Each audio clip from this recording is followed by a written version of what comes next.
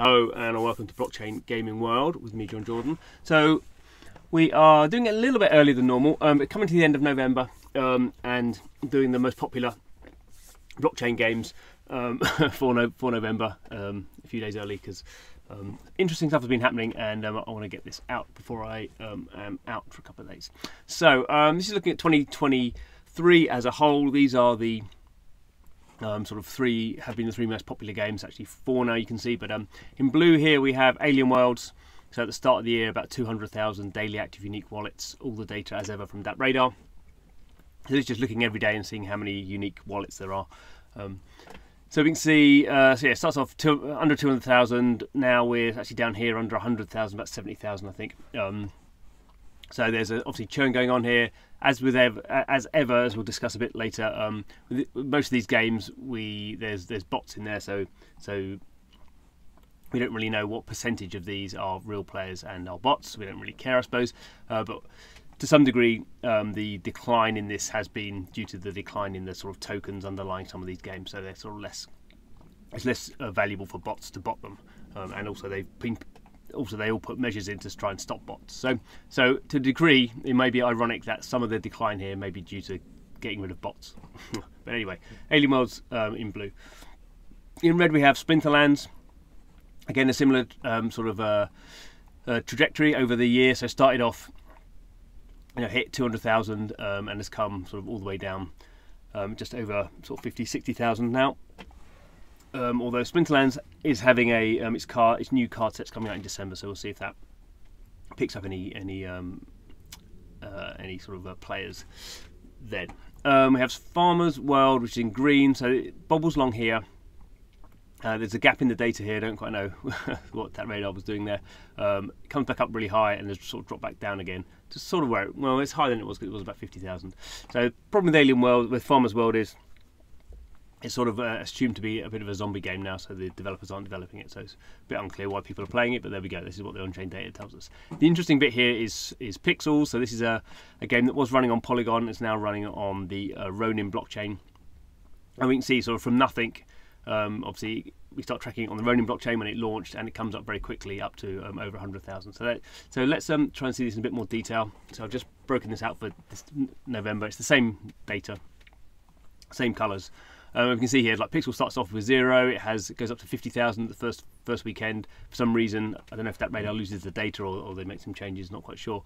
Um, comes down um, and then it go, goes up again, and is now round about the uh, 100,000 daily active unique wallets. Again, the developer has said that they know there's a bunch of um, bots, you know, maybe 40% they're thinking are, are, are, bots. They're trying to put in some measures to sort of reduce that and make sure bots the main reason for bots is the main reason you don't want a lot of bots is you don't want them extracting value. So there's been people complaining that bots are sort of claiming some of these um, rewards in the game. Um, and so the developer obviously doesn't want um, sort of bot accounts to be collecting rewards. They want the players to be collecting the rewards. So, so um, some um, stuff going on around that. And we can also see the same thing we've discussed before. Uh, so Alien was sort of coming down here. And actually, in in uh, in November, um, you know, started off 130,000, has come down quite a lot to under 100,000. So um, again, I don't, uh, I don't know if that's bots or, what's going on there, but but a, fairly sort of strong decline. Uh, Splinterlands slight um, increase, so under 50,000 up to 100,000, uh, over 50,000. I expect to see it probably going back up a bit as, as, as, new cards are released. People will be collecting the cards that they've bought and, and, and playing the game. So um, and uh, has sort of re re sort of organised itself in recent months. So so we'll see how that sort of kicks in got a new game mode to go live and stuff as well, uh, and then Farmers World just sort of um, doing what it's doing. Okay, so um, I guess looking into December, what's interesting is to see how how Pixels does it sustain itself around this 100,000 mark. You know, at the moment it is now the most popular blockchain game um, as, I, as, as, I do this video. So it's it's um, you know higher higher than everything else. Um, obviously, just uh, within within a month, and, and we sort of see that trajectories um, in some other games. So obviously we've moved from um, what was being considered a bear market, so that so crypto prices have, have been down, um, and now uh, crypto prices have clearly sort of um, gone up in terms of the big um, tokens like Bitcoin and Ethereum or ETH, um, and uh, so generally there's sort of more positivity, and and you see that reflected in some in the sort of in the uh, increased audience in some games, but not all games, interestingly. So next graph. So these are some games that um, you know have been around for a long, long time now, um, and and this is for the whole of 2023. But you can't really. I mean, they've gone up a bit. Um, so here we have Nine Chronicles in green, up to about 40, sort of 40,000. Um, so if we go back to this graph, so so this is obviously this is much higher level. So if we look at the next graph, sort of sit within this this vertical line here because this is fifty thousand. Um, so so you know, uh, Nine Chronicles is somewhere around here, forty thousand. Um, Upland in purple, just very sort of steady around the sort of 20, just over twenty thousand. You know, doesn't really go up or down. Um, and Axie Infinity, you know, is up from the start of the year at ten thousand, maybe up to sort of fifteen. So sometimes peaks over twenty. Um, but you know, it's not doubling even or you know 10xing um, or anything like that. So, so it's interesting that we have sort of new games coming on like Pixels, which is on the same blockchain, same Ronin blockchain as Axie Infinity, um, and that's seeing a lot of growth. Lots of people are suddenly interested in that game, but the sort of games that are, you know, have been have been out there for a while, have a lot of resources out there. Um, we haven't yet seen people onboarding back to those. So I guess that's the interesting thing when you have a sort of cyclic um, industry, uh, you know, is it who, who captures the growth? Is it new games coming on? There's loads of new games coming out.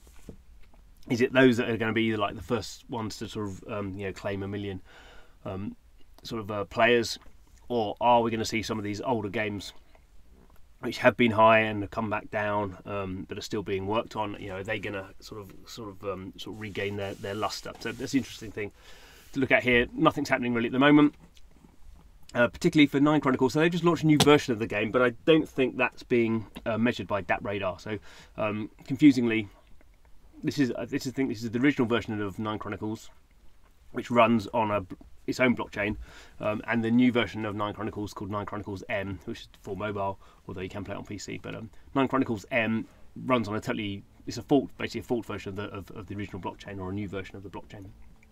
So I don't think DappRadar's doesn't seem to be tracking that yet. Um, they may be rolling those into these figures, um, uh, but I don't think so. So, so particularly keep an eye on Nine Chronicles. It has just basically launched a new version of the game, um, which is much more accessible than the old version. So we would expect to see some growth there. Okay, the final um, graph here is some of these sort of um, uh, sort of newer products that have seen you know quite considerable growth. So Sweatcoin's been around for a while. It's not really a game. It's one of these move to earn apps um, and you know you don't actually need any NFTs you can just download the app from the app stores and it sort of um, gives you coins cryptocurrency depending on how much you move so if you sort of move um, you, the, the, amount of steps you do in a day you can sort of claim some of these tokens um, can't really do anything much with the tokens at the moment you can sort of stake them to, to get some rewards um, it's actually a slightly complicated system where they have a, like an off-chain currency and a non-chain currency and you can do different things. You can get sort of discounts with things and, and do some charity. Give sort of normally give them away to charity. And there is a, a, a like a small mini game in in in um, Sweatcoin, um, a sort of rhythm action game. Um, but wouldn't, we wouldn't really see this as a sort of traditional game. Um, GameFly and uh, Moto Dex again, they're a little bit um, sort of lightweight. They're running both running on the SKALE network, which is a, a sort of Ethereum-based um, sort of scaling blockchain um, which means you can do a lot of transactions um, cheaply. But I guess what we're looking at here is the sort of the growth. this is from this is the last three months: September, October, November. Basically, you know, Moto uh, Moto Dex starts out at zero, and you know this is up to you know almost seventy five thousand daily active unique wallets. So it's a sort of a, a, sort of simple sort of motor racing Dex sort of game. Um, very simple. It's more about the crypto than the than the game really. But you can see, you know, when you in in a more positive um, environment, um, almost, I would say almost almost any experience can can suddenly you know start growing tens of thousands of, of wallets a day. Again, level of bots in for these products we don't know. Um, something always to be aware of. Uh, and same for Game Gamerfly, which is a, um, a sort of cricket, a sort of hyper casual sort of cricket game with some blockchain elements in there, which is obviously more focused towards the Indian market.